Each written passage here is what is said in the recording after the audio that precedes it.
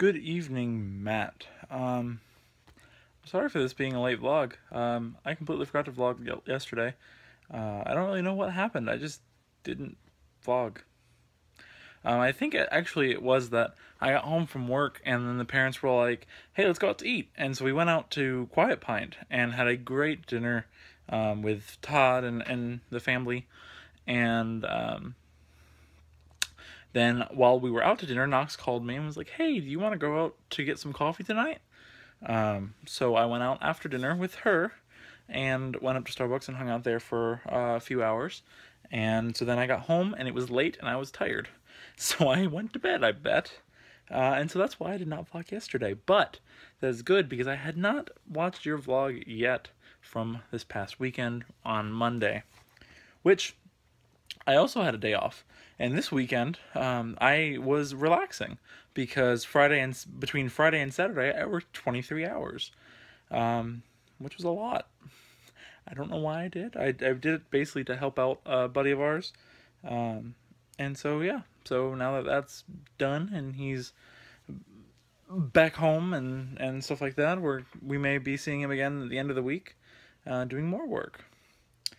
So I also want to answer your question today of what books I'm looking forward to reading or have been reading or have bought and wanted to read.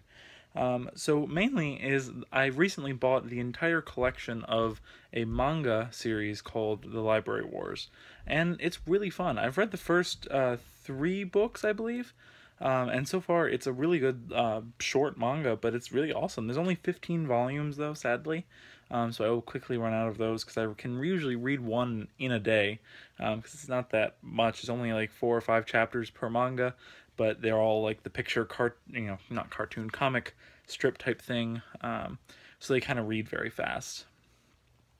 Other than that, I've uh, on my bookshelf over here that you probably have seen before.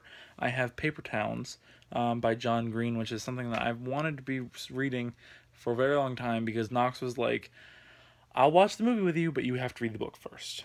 And so um, that is what I'm going to try to do. And, you know, hopefully I can eventually read it.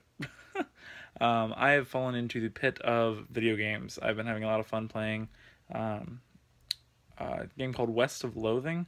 Uh, it's kind of like an old Flash game that was ported over to being on Steam, and it's like a RPG type thing, but it's like West style themed, and it's pretty cool uh, pretty very very interesting and on some of the things that uh, it talks about. Um, I also still have that comic, uh, the Walking Dead comic, right over here, and I still have not read that, and I feel really bad because I asked for that for my birthday, and I really should read it. Like, I need to. Uh, I need to plan some time out.